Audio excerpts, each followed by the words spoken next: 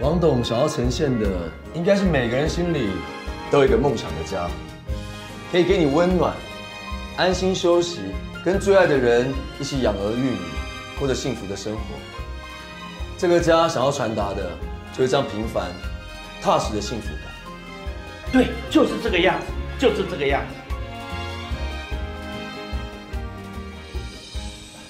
楚小姐，你是这次专案的负责人，所有计划都要经过你，你觉得呢？我觉得幸福感不在乎空间，是在乎住在里面的人。所以王董才强调，这次的案子主打的是小夫妻拥有的幸福感，应该是有两个人一起共同打造这样的观念。王大树，你现在是存心要找我麻烦吗？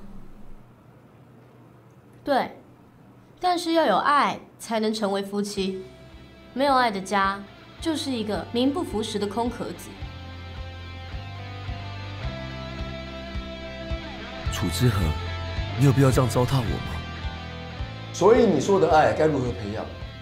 家是一起努力的目标，两个人扎扎实实的为共同的信仰奋斗，每天存点钱就能够负担起自己的房子，每天就离梦想更近一点，不是吗？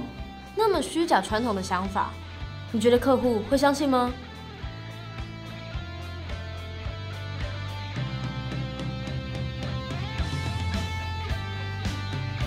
我觉得知和的感性浪漫与王策划的勤奋务实，应该在下一次的计划案可以达到很好的平衡。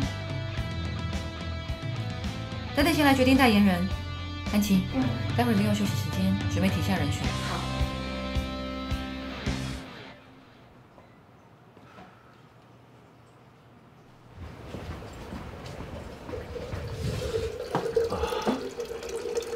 抱歉，我只想跟你说对不起。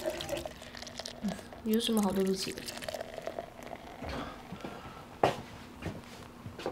之前我一直计划着跟你生孩子，完全没顾虑到你的感受。我以为有了小孩，这个家就多一份向心力，是我太一厢情愿了。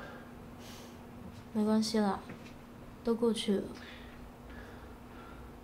那我为刚刚会议上的针锋相对道歉。你是对的，公私分明嘛。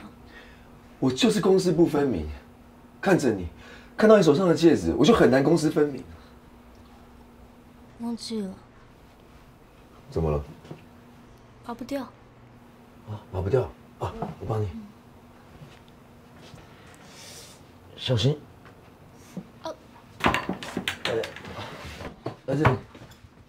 啊，哎，啊，对不起，扶你。